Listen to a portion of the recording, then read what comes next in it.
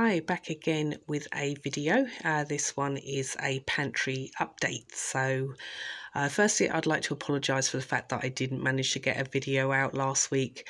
Uh, my to do list was just so full on, I didn't get a chance to get one done. Uh, one of the things that I was doing was um, I completely emptied this pantry and rearranged it all. So it's looking a little bit different to what it looked like back in February when I made my first video um, on it. So I thought I would talk you through the changes that I've made and what I've actually done. So uh, yeah, it took about four and a half, five hours to sort all this lot out. It was complete chaos, um, but it got done. So uh, yeah, there's quite a number of changes that I've done. Um, I'll talk you through just some of the more basic ones. Uh, so basically that top shelf looks very different. Uh, that was full of my toilet rolls and I found with a lot of uh, jiggling around that I could actually uh, get them down the side here. So uh, what was basically wasted space now has 16 packs of toilet rolls. Um, I've got three in there and I've got scope to get at least another three, four um, on top of it. So uh, that freed up all that top shelf. So really, really pleased with that. So gave me a lot more space. Um, on top of that, I've been uh, working away with my cardboard boxes. Uh, easiest to probably show you the one at the bottom. Um, so basically what I've been doing is just making these little boxes down here and it just allows me to stack to multiple heights on my cans. So before with everything just like precariously balanced, if you went in to get something, um, bits got knocked off and yeah, it wasn't really working and it meant that there was a lot of wasted space because of it. So with these boxes, um, I, it just takes all that away and I can store uh, lots more extra food on here, which I'm really pleased about. So we've got a few of those and I'll point those out as uh, we go down. Um, the lights, um, I've got some basically some of these little uh, simple puck lights. Um, I bought these from Lidl about 15 years ago. Uh, never sure what to do with them, and I thought I would dig those out and put them on the unit. So we've got five of those. So I've put two on that shelf, two on the one underneath, and one down there. So that got done. Um, the biggest change probably is this. So I managed to get this on Amazon and it's a, I believe it's a 24 pocket one and I got it for nine pounds. So uh, that is hanging on the door and already full. Um, I was really pleased with this one actually because um, uh, these, when you live in apartments like um, this, you, you you have fire doors basically, and those fire doors can be quite thick. And you try getting any of these hanging units, and you can often find that they don't actually fit over the width of the door. So I was really pleased when I got this one. Um, it fit absolutely perfectly. So um, yeah, really happy with that. So that all got done. Uh, the wire baskets that I bought in my Poundstretcher shop that I showed you uh, they've been put to use and since I've actually got them on the shelf I can actually fit probably up to about four on here so I'm looking to get a couple more of those. So that got done as well. Uh, what else did I get done? Yeah we've got a little step up here. So got something to stand on to get to the top shelf um, a little whiteboard down there so that I can actually update um, as I'm moving cans in and out of the cupboard. Uh, so that makes it a little bit easier. Uh, I pulled out everything that was due to go beyond its best before date uh, for 2022. So that has all been moved now to my kitchen cupboards. Um, that got done. Um, I'm sure there's some more stuff, but I can't think of it at the moment. Oh yeah, the the cat basket that has been stored different ways. Um, uh, lots of lots of things um, been in there and removed and put back in and removed again. Um, so at the moment, that one is now storing um, just basically sacks of um, pasta and tea bags and porridge oats. So my flour's been taken out, uh, rice has been taken out, and they've also the big tote that I had at the bottom there that had all the little bits and pieces in, um, the rice for that got pulled out as well, and those will all be going into either vacuum sealed bags or they'll be going into mylar bags. So freed up even more space. So uh, so it probably looks exactly the same as it, it, it did to you guys uh, probably a few months ago, but it is quite different. So I'm I'm really pleased with what I, I got done. As I say, it was complete chaos getting it sorted, but yeah, well worth the effort. So so that's what I was doing. Um, so I thought I'd just while while you're here, just uh, talk you through uh, what I'm actually uh, prepping at the, at the moment. So we we'll start with that. So um, okay, so uh, I will try and point, but it makes the camera wobble so much you end up feeling a little bit seasick. So i will try and keep pointing to a minimum but i'll go from uh, top left to right.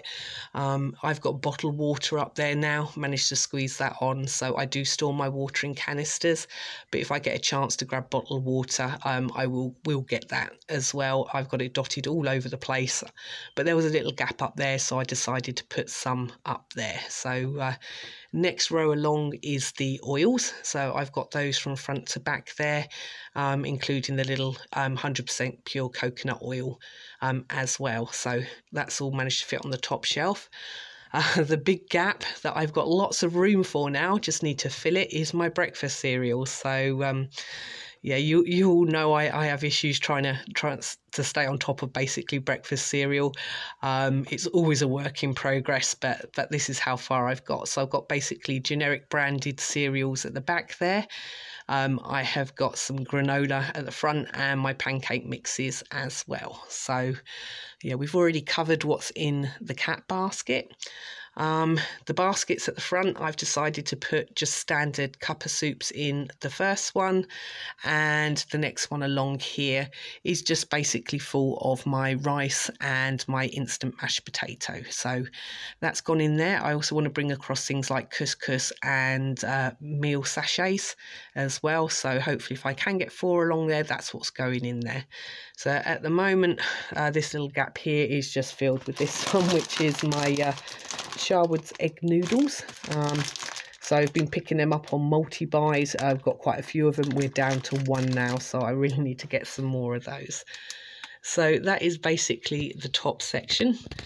Um, these lights are probably not going to make things easier for you to see what's at the back, but um, I will do my best. Uh, so, um, because until I get boxes to hold everything upright at the back, I can't double height the front uh, rows. So these are still being kept singly. So this little section here, that's all my baked beans. Um, my 13 piece spaghetti loops hot dog sausages got up to two rows on those now I've got my tall hot dog sausages and then baked beans and sausages along there. So uh, easy access to those ones. Um, the unit behind, which again, you're not going to see even with the lights that well. So you'll just have to take my word for it. We've got uh, creamed rice pudding. Um, that takes up that first section. Um, the missing gap there is my evaporated um, milk. Um, so that was all coming up to date. So I had to take that entire section out. Um, next one along is custard. Um, from there, this entire back section now is all just mixed fruits. So that's tinned fruits. It's um, things like all the pie fillings, like cherry filling, uh, rhubarb. We've got pineapple slices back there, uh, lots of sorted fruit. So that's basically fruit and dairy. That stayed the same. That's at the back. But as I say, now we've got the boxes. I can start um, stacking them and getting a little bit more in because I can actually store them in here now. Uh, that was that row. Uh, covered that bit. Uh, the next one down is all my jars. So I keep the jars towards the front and I've got meat meals towards the back. So uh, on this particular row, I've got um, my row of uh, ratatouille, um, my chicken meatballs, uh, barbecue meatballs there. Let's just take that one down so you can see the top shelf as well. Okay, um, so standard pasta sauces.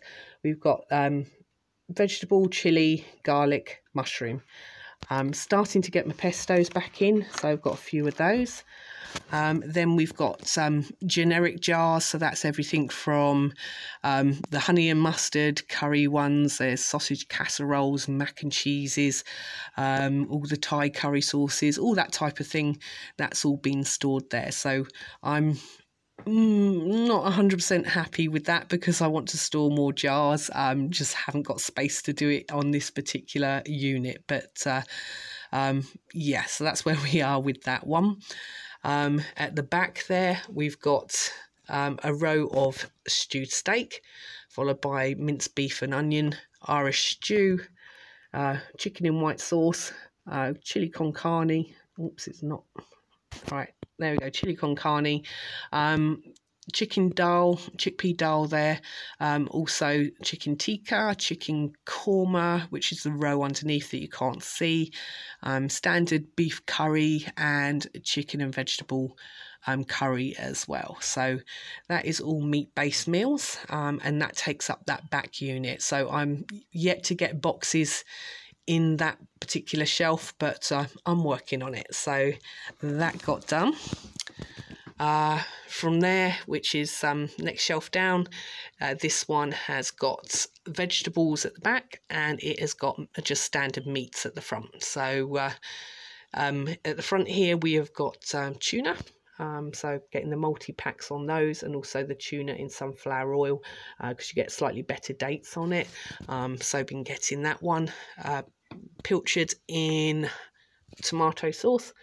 Um, I think I mentioned before we're not really big oily fish eaters, but this one, it, it was a recipe growing up, just a really simple one. Was just some uh, puff pastry, just kind of make it into, to just roll roll it out into like a sandwich tin, spread that on it, put a puff pastry lid on, and just put slits down it, and it actually cooks up really really nicely. So um, that's what we tend to do with that one. Uh, at, behind that there is the burgers in sauce. Um, so one's got onion gravy, one's got normal gravy. Uh, we have pulled quite a few of those off again because they were their dates were this year. Um, next one along is all my bacon grills. So I'm trying to store the same type now because it just makes it easier to stack if everything's in the same shape tins. But I have got like two different types, this one and the standard Morrison's one. Um, from there is corned beef and a lone can of spam. uh, next one along is all the just standard generic meats. So we've got ham, pork, all that kind of thing. Um, that's that one. And then the uh, tin chicken is now starting to build up a little bit. So we've got that in a row there. Uh, this one's got my pates in and then all the Fray Bentos pies over there. So there's quite a few of those were coming up to date, so they got taken off. So need to restock those quite a bit. Um, behind it, which I'm saying even with the puck lights, you're not really going to see. So I will just point them out. So we have a sweet corn, uh, which is that one over there. Then we've got the um, green beans, followed by the mushy peas uh, followed by carrots, uh, followed by just mixed vegetables, which, right, and we've got a few other things actually, if I can just pull it out. Yes, I saw the easy onions, so that was something else I found in Morrison's that was a little bit different, so that one's gone in there. And the middle one over there is uh, sliced mushrooms. Uh, last little section over here, that's got the potatoes in there, uh, plum tomatoes, chopped tomatoes, and things like red kidney beans. So that's all been stored there. And once we get all the boxes going, I should be able to fit in quite a bit more. That's that shelf. Down at the bottom, I'm saying this is just a speed through. the we've made space because uh, the tote that was there before um, had all the bits that's now in my door hanger. So I was able to remove that completely. So that means this entire section now is tin. So it's virtually made a whole shelf. Um, I was really appreciative of that actually because the soups which I was storing on the top where my little baskets are, they kept getting knocked off. It wasn't really working very well, so uh, they are all being stored down in this bottom section now. Um, I have got two massive totes at the back that are full of pasta and rice, so I've kept those in. But I have got the option of pulling those out and then having another um, unit at the back there, um, adding more tins to the back. So that's an option for the future. Um, on top of those totes, we have these, which are basically just standard noodles. So all different types in there. Um, we've got three of those they fit to the back. And in this bottom section as I saying it's it's basically soups. I mean I would love one of those kind of pantries where all of these are in um, order as to what they actually are um, but at the moment I can I can only store to to four tins wide so they're actually being stored in date order as opposed to um, flavour so um, we have Morrison's own ones and then the big soups, which we're getting a bit of a taste for now. So they they've gone down there. And that last corner, again, you can just about make out, um, that's all jams, preserves, and sandwich spreads. So peanut butter, uh, chocolate hazelnut spread, um, marmalades, jams. I think I've got some honeys down there as well. Um, got some of my little table salt around the corner and a few more tins um, that I've just pulled off the shelf just to just to show you what was behind them. So that is that. I'm having to store the dates slightly differently. Um, so with these now, because I'm stacking from bottom to top as opposed to front to back, um, the dates are having to reflect that. So uh, the the older dates are going down on the bottom, newer dates towards the top. So uh, so yeah, so basically it is kind of working. Um, it's uh, it's just trying to get as much stuff in and have it accessible. Um, and yeah this system's been a little bit hit and miss um, over the last year uh, but it, it is starting to get there. So um, yeah i've learnt a lot. Uh, this this cupboard has been pretty dizzy for a while the amount of times it's been pulled out and put back in but every time i do it and tweak it it gets a little bit better and and suits suits us as a family just that little bit better as well. So, so if you're like me and you haven't got either the materials or the DIY skills to have these fitted these cupboards uh, fitted out with um, proper shelves, and you you're relying on a unit, I've, this is what basically um, I've been doing. So I, I don't know if that will be able to help you in any way at all as well as to how I've decided to organise it. So that's all of those. Um, from there, the last section is the door hanger. So got another little trusty torch just hanging on the top there. And these ones, no particular order at the moment. As I saying, it was everything that came out of that bottom tote. Um, so we've got sesame snaps in the top one. Um, got my sun sweeteners in that one. All different spices and seasonings. My sage and onion stuffing. Uh, this one is just full of um, sauces, so we've got everything from um, Worcester sauce, soy sauce, uh, Chinese dipping sauce, that's all in there. Um, my cheese granules, just add water. Uh, gravy powders are in the next one. So this is um chicken. Uh, we're missing a chicken and a, a beef one because I had to pull those out because we needed them. So uh, that needs refilling. Uh, this one's going to be the standard meals, just add water. Um, so that's tuna. Uh, these ones are milk based actually. This is the tuna and pasta bake ones. Uh, we've also got some uh, fish seasoning behind there. And from there is the couscous, which will go into one of those uh, wire baskets when, when we get them. So, but at the moment they're being stored wild mushroom, tomato and chili, uh, sun-dried tomato and garlic. Um, this one has just got peppercorns in it. Uh, down there is ketchup. So uh, there's just a couple of ketchups in that one, one in there, one mayonnaise, um, some golden syrup that I haven't got space for in my other tote, and coffees. So these ones are the ones, uh, yeah, I'll go into that in just a second. So I've got three coffees um, and just brought this one, which is just a standard coffee wine. I've not tried it before, but I'm looking into making my own little coffee mixes. Um, and as a doorstop there is my salt. So uh, that's just a standard um, uh, sea salt. And yeah, so um, what I was going to say is that the only annoying thing about this unit is it, this particular hanging um, option here is that every time you shut the door, these these coffee coffee jars at the bottom are banging into the door, which um, I think at the moment I don't mind. It's not pressing any buttons, but um, I may in the future, if it's if it starts to get a bit annoying, is maybe just tack this whole thing to the door, or just kind of like um, just just find some way of uh, fixing it so there's not so much crashing and banging around when we open the door. So. Uh, so okay, so that is just a speed through um, version of of what's going on in here as I say, I'm a tweaker. I can't help but be a tweaker, and I dare say at some point this will get retweaked again.